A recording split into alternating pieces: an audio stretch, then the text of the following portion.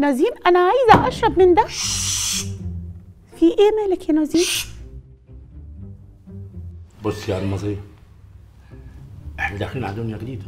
عايز أقول لك كلمتين تحطيهم حلقة في ودانك كلمتين أحطهم حلقة في ودني؟ إزاي يعني يا نظيم معلش ده صلاح حضرات ملكيش صالح بيه.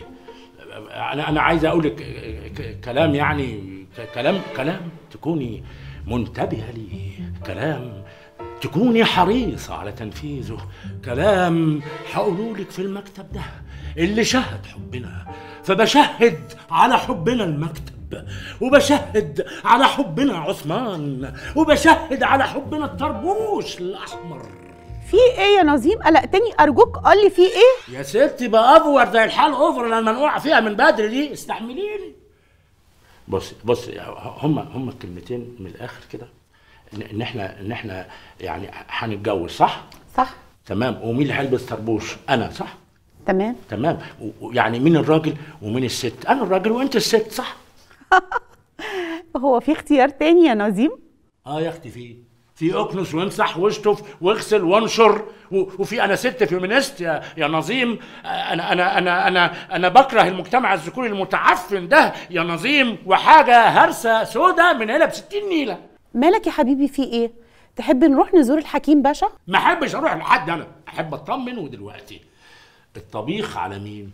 على الطباخين طبعا. آه صح. طب الغسيل على مين؟ على الشغالين طبعا.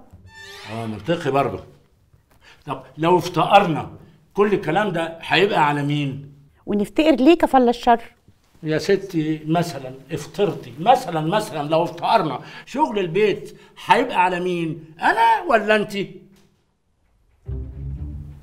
انت بتفكري؟ دي بتفكر يا جدعان! بتفكر يا عثمان بتفكر يا إدريس! حرمنا المصون على اعتبار ما سيكون! بتفكر. نظيم اقعد من فضلك ما تفرجش علينا الشغالين. بلا نصيب بلا زفت. ما هم هيتفرجوا كده كده هيتفرجوا. اطمني خالص. يا نهار أسود. يا عيني عليك يا جدي. دي عيلة كلها منقوعة في نورة وضحضيرة ما يعلم بيها إلا ربنا.